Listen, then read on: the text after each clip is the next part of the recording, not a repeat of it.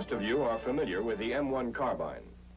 You've looked it over closely, you've fired it, and you found that it combines light weight with good accuracy at short ranges and plenty of firepower. But the Army has now increased this firepower to over 750 rounds per minute by developing the new carbine M2. With the exception of a lever on the left side of the M2, you'll find that both models are almost identical in appearance. This lever, called the selector, is also the key to the difference in functioning. When it's in the rear position, the M2 fires semi-automatically like the M1. In other words, one shot each time the trigger is pulled.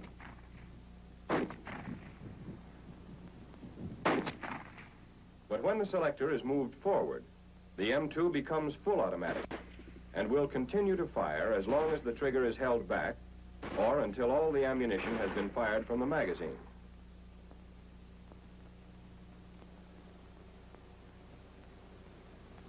To supply its high rate of fire, a new magazine has been developed for the M2. It holds 30 rounds and is interchangeable with the 15-round magazine.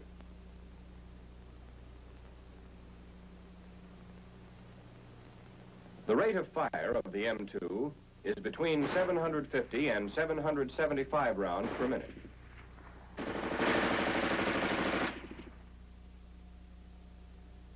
To see how the carbine has been modified to provide full automatic fire, we'll remove the handguard and stock and expose the working parts. And to provide a better view, we'll use a model which enlarges the working mechanism to five times its normal size. This operating model functions like the M1, and we'll start with a short review of semi-automatic fire by breaking into the firing cycle just as the trigger is pulled and a round is fired. The bullet is pushed through the barrel by the expanding gas, and as it passes the gas cylinder, located underneath the barrel, some of the gas enters the cylinder through this port. It strikes the piston and drives the slide to the rear, compressing the spring. Then the spring expands and pushes the slide forward. We'll remove this cover and repeat the action so you can follow the movement of the bolt. As the slide moves back, the bolt is rotated and unlocked by this cam groove.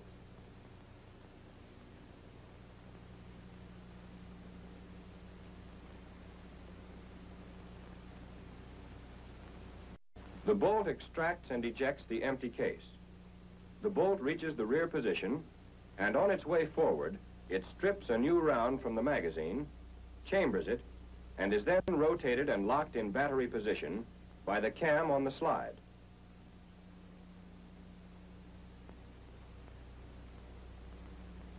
We'll repeat the cycle once more to watch the action of the hammer.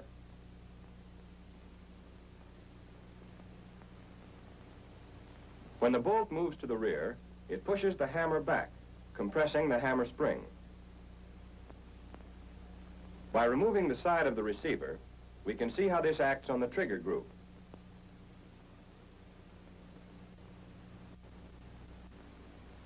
The sear notch on the hammer overrides the sear and allows it to rise.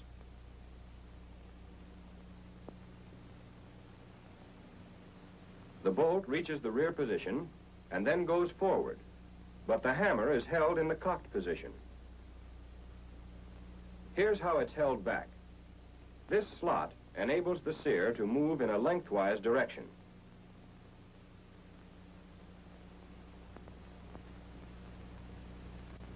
When the hammer catches it, the sear is forced back until it's stopped by the trigger post.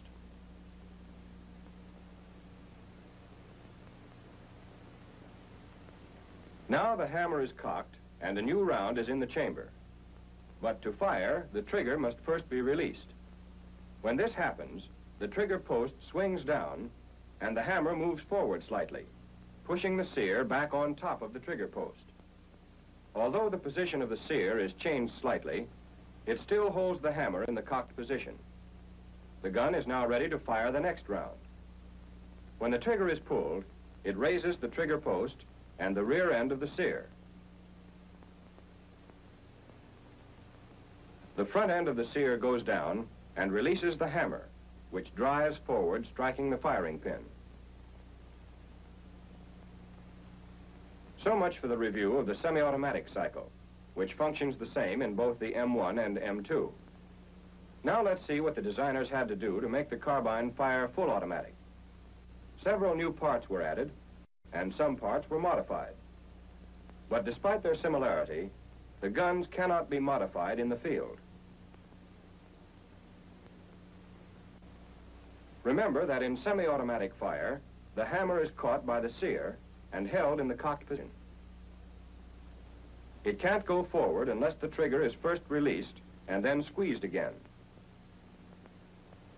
Therefore, the first thing we need to make the carbine full automatic is a device which will trip the sear even though the trigger is still depressed. It can be done by simply pushing down the front end of the sear like this, but that wouldn't be very practical. Instead, we'll call on one of the new parts, the sear trip. This is the sear trip spring and plunger. They fit into a recess on the front of the trip and keep it under tension.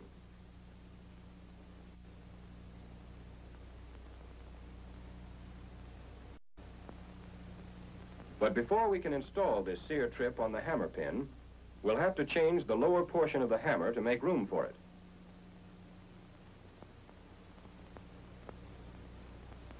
A new hammer has been designed with the lower part cut away.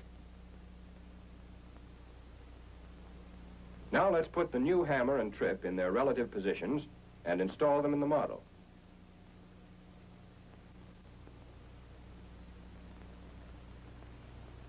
This part of the trip is intended to contact the sear. But if we pivot the trip, we can see that they don't quite reach. A new sear will answer that problem.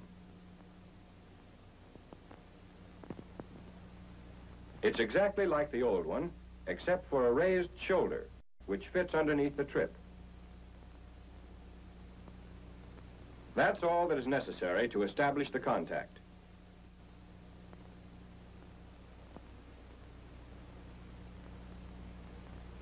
With the hammer cocked and the trigger back, the trip can now depress the sear.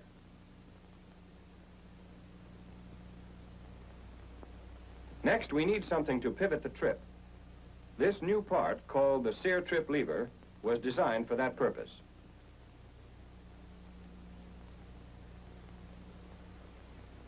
But before we install the lever, we'll have to replace this straight pin with a new one, called a crank pin.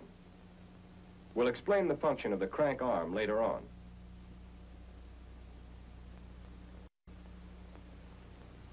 Right now, let's consider the new pin only as a pivot point for the lever.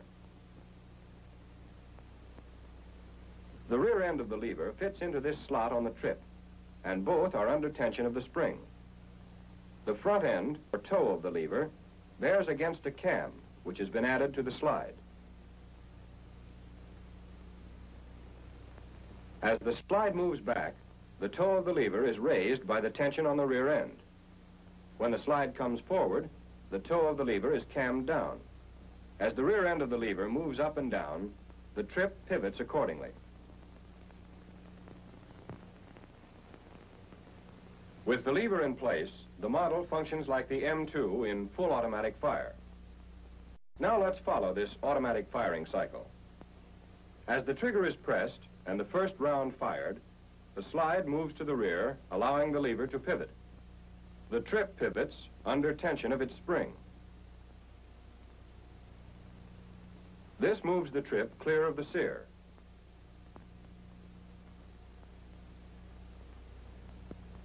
The sear now functions just as it does in semi-automatic operation.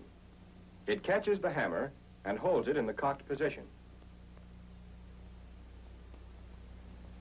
As the slide moves forward, the toe of the lever is cammed down. The rear end pivots the trip, which depresses the sear, releasing the hammer. Here's the whole action once more. The functioning of the lever is so timed that the bolt is fully locked before the round is fired.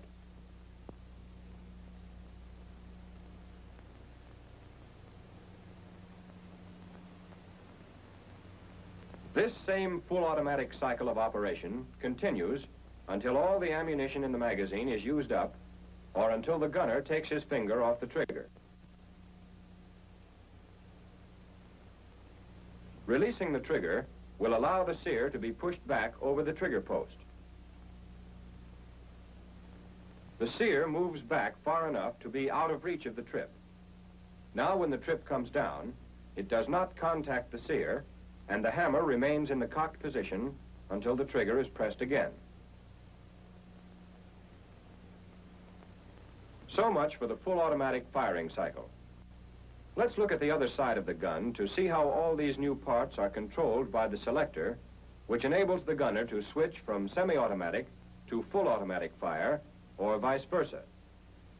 The selector is the part by which you tell the assembled M2 from the M1. It fits on the crank pin like the jaws of a wrench. This little notch has been cut in the receiver so we can install the spring, which holds the selector in position.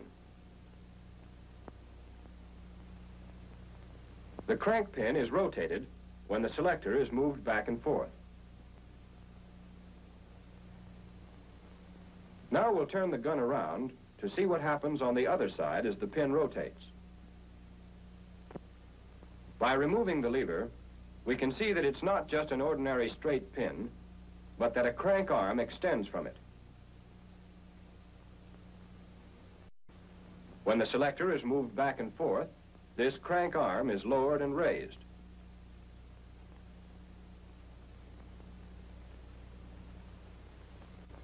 With the lever in place again, we can see that it is lowered and raised accordingly.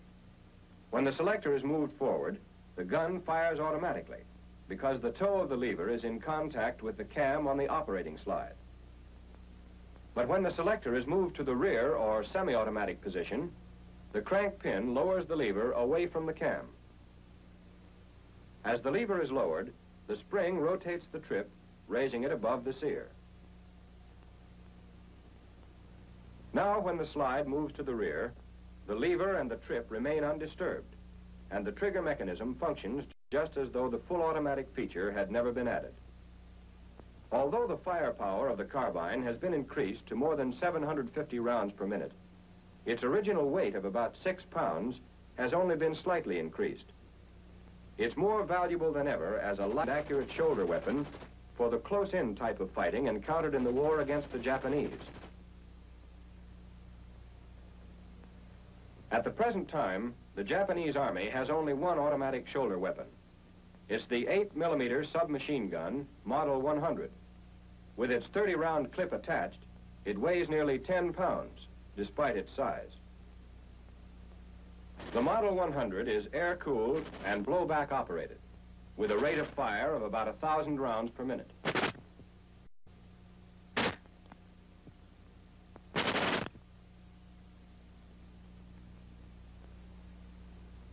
But this short 10-inch barrel and a muzzle velocity of only about 1,000 feet per second limits the weapon's accuracy. Its effective range, at best, is about 150 yards, and it only fires full automatic.